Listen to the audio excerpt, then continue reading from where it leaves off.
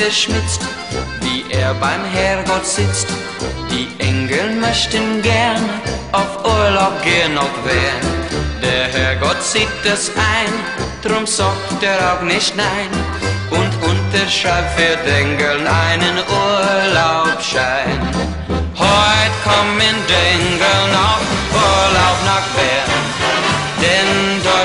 wannst's aus, drum hoppt Berne Stadt gern.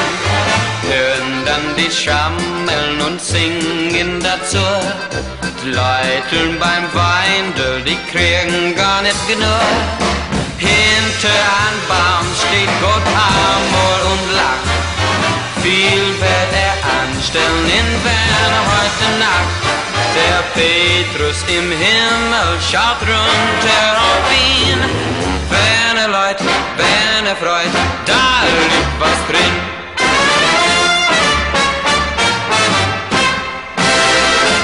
Ja, habt ihr das gesehen, liebe Freunde? Das gibt eine reiche Ernte und wieder einen guten Wein dieses Jahr.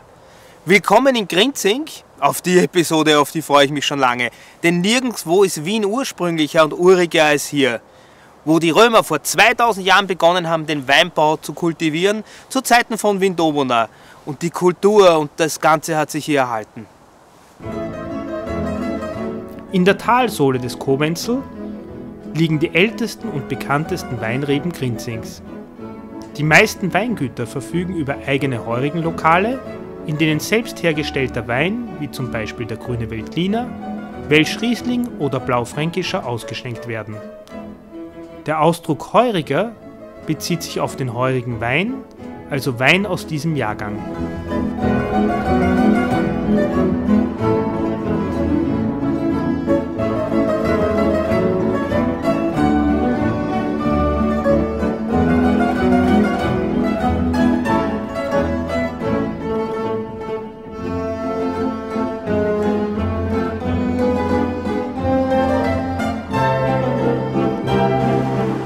Ursprünglich gehörte Grinzinger nicht zu Wien, sondern war nur ein kleines Weinbauerndorf außerhalb, in Hanglage. Daher auch der Name Grinzing von Gerin. Damals, 1417, haben zwölf Weinbauernfamilien die erste Dorfkirche errichtet, die Pfarrkirche Grinzing. Die ist immer wieder zerstört worden, sowohl bei der ersten als auch bei der zweiten Türkenbelagerung. Danach ist sie auch noch einmal abgebrannt. Aber man hat sie immer wieder aufgerichtet. Im Inneren der Kirche ist eine außergewöhnliche Besonderheit. Eine uralte Orgel, auf der schon Ludwig van Beethoven und Franz Schubert gespielt hat. Mit der Zeit ist das gute Stück aber immer mehr verfallen und niemand hat sich ein Herz genommen, sie zu pflegen, sodass man Mitte der 80er und 90er Jahre ein elektronisches Keyboard aufgestellt hat, um die heilige Messe zu lesen. 1997 hat man sich da mal ein Herz genommen und das alte Stück renoviert.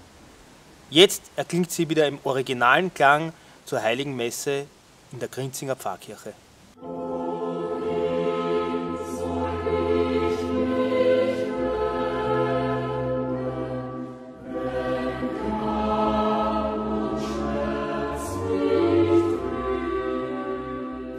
Früher war die Arbeit der Weinbauern in den steilen Hängen überaus kräftezehrend und eine gute Ernte war keineswegs gewiss. Schlechtes Wetter, Naturkatastrophen oder Schädlingsbefall konnten über Nacht die harte Arbeit und das Einkommen eines gesamten Jahres zunichte machen. Durch die Abhängigkeit von der Natur waren die Menschen dieser Tage gläubig und gottesfürchtig.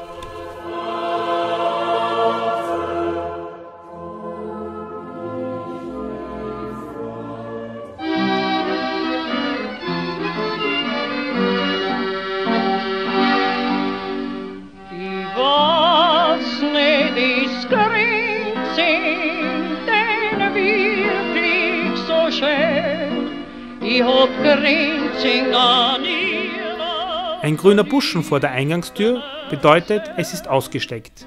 Ergo, der Weinausschank hat begonnen. Einst waren die Heurigen der Ort, wo man Wein direkt beim Bauern getrunken hat. Speisen gab es keine, die mussten mitgebracht werden. Mittlerweile haben sich die Heurigen zu Gaststätten gewandelt. Nichts gibt tieferen Einblick in die Seele der Wiener als die alten Wienerlieder. Das Wienerlied ist manchmal lustig, meist aber sehr melancholisch und dreht sich um die wichtigen Themen, die den Menschen so beschäftigen. Die Lieder besingen die Liebe, den Tod und vor allem den Wein.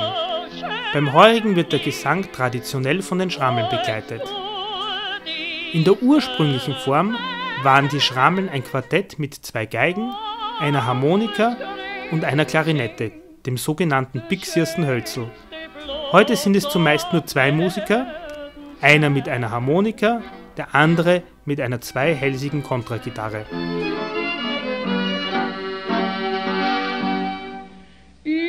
Aber nicht nur für Alkoholiker und Touristen ist Grinzing ein Fixpunkt bei jedem Wien-Besuch.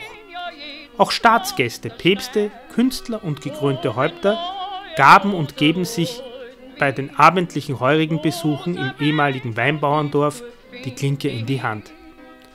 Bill Clinton, Putin, Papst Franziskus, Pavarotti und sogar der japanische Kaiser Akihito waren so begeistert von der Grinzinger Gastfreundschaft und von den edlen Tropfen, die es hier gibt, sodass sie sich den Wein fässerweise mit nach Hause nahmen.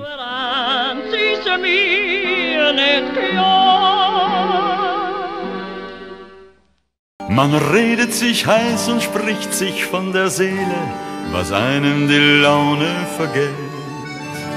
Bei Korn und bei Bier findet mancher die Lösung für alle Probleme der Welt.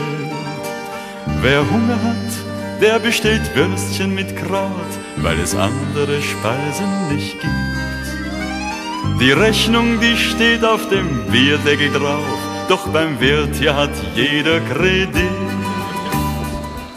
Mit keinem anderen Namen ist Grinzing so verbunden als mit dem von Peter Alexander.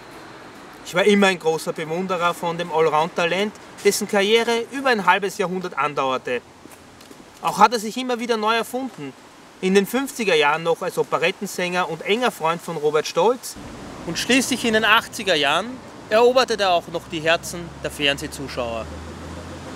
In aufwendig produzierten Shows im Stil eines Frank Sinatras zeigte er dem deutschsprachigen Publikum etwas, was zuvor hierzulande nicht üblich war.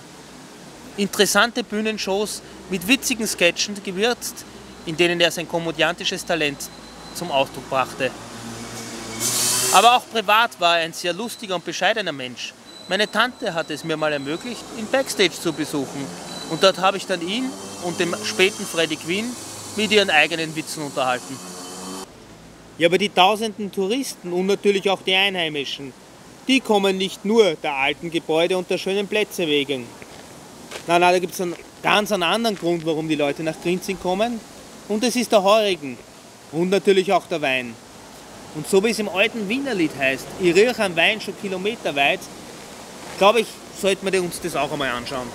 Die kleine Kneipe in unserer Straße, da wo das Leben noch lebenswert ist,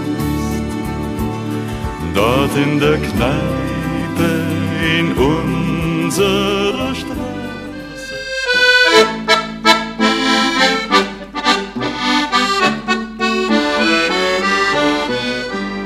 In Gundendorf drunten am Eck Nummer 2 steht ein dreistöckiges Haus, das hat gehört den Papa. Und in einem Zimmer ist ein Kassala, den Schlüssel dazu hat gehabt die Mama. Drum hat uns das ganze Jahr das Geld niemals gefällt.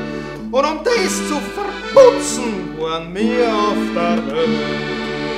Wenn vom Arbeiten geredet wird, Jesus, ich schwitze schon wieder. ja, da kriegen wir einen Grant. Weil unser Vater war Ausherr und der Seidenfabrikant. Ja, unser Vater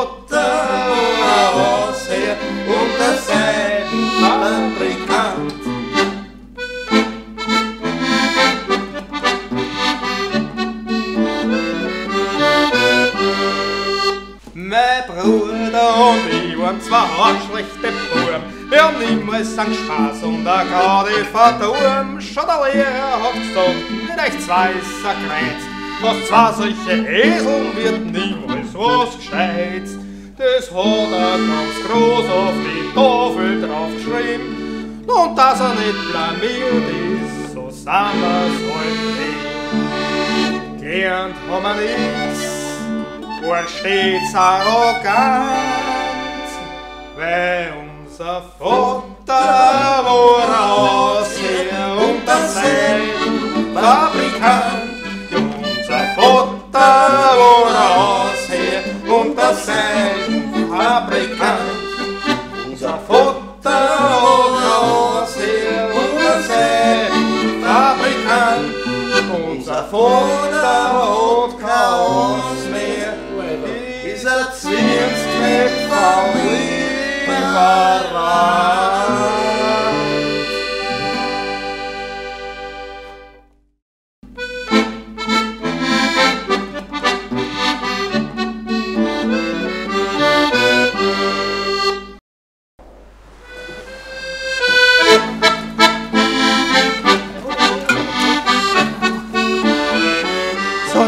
wir zur legendären Linie 38.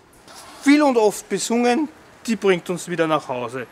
Früher war ja dort das Kaffeehaus zur Linie 38, das im Krieg noch das Kaffeehaus zur schweren Stunde hieß, weil in den letzten Kriegstagen eine Bomben eingeschlagen hat. Später hat man es dann abgerissen und einen Würstlerstand draus gemacht. Aber den gibt es heute auch nicht mehr.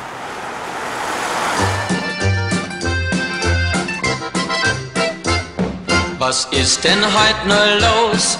Was ist denn heut noch geschehen? Heut sind so überfüllt die Oktodraus gewesen. Der Schaffner, den ich frag, der schwitzt vor lauter Plag und sagt mir gleich den Grund für diesen Feiertag. Heut kommen Dengel nach Urlaub nach Bern, denn dort war's Zaus, drum haben's Werne Stadt gern hören dann die Schrammeln und singen dazu. Leiteln beim Weindel, die kriegen gar nicht genug. Hinter ein Baum steht dort Amor Den Faschen bitte. Liebe kleine Schaffnerin, kling, kling, kling. Sag, wo fährt dein Wagen hin? Kling, kling, kling. Liebe kleine Schaffnerin, gern bleib ich im Wagen drin. Und ich küsse dann sehr galant eine kleine entzückende, kleine berückende, Fahrkartenzwickende Hand. Und ich küsse dann sehr galant eine kleine entzückende, kleine berückende, Fahrkartenzwickende Hand. Endstation. Feuerwehr, äh, Endstation. Aussteigen bitte, aussteigen bitte, wir sind bei der Endstation. Doch ich bleib sitzen und nehm die zwanzigste Vorfahrt mir heute schon. Liebe kleine Schaffnerin, kling, kling, kling. Nur schön langsam voran, dass kein Unglück schicht. Halten wir uns ein bisschen an, es ist wegen einem Übergewicht. Gott sei Dank wächst ein Baum, dass man rasten kann. Durch dazwischen so große sind.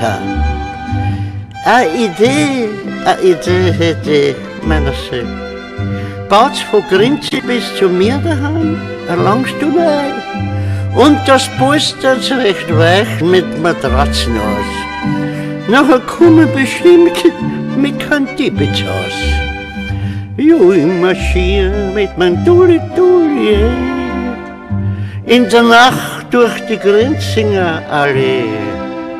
Und der Mond leuchtet liebevoll mir heim. Hat umarme verglickern jeden Baum. Und jetzt weiß ich ja schon langsam, warum, dass ich nur wie eine Stecken weiterkomme weil ich alle in Serpentinen gehe. Bitte, bitte, Hobel, mein Dulli, Dulli. Petrus, halt mir die Dame, bitte, sei so gut, dass mein Alte daheim nur fürs Schlafen tut. Sonst empfangt sie mich gleich mit dem Wasserfall. Ja, wo warst denn du, sag mir einmal, du bringst geh rein. Ui, mein Alte, na, die legt mir eine Predigt hin, dass ich gleich vor 14 Tage erledigt bin.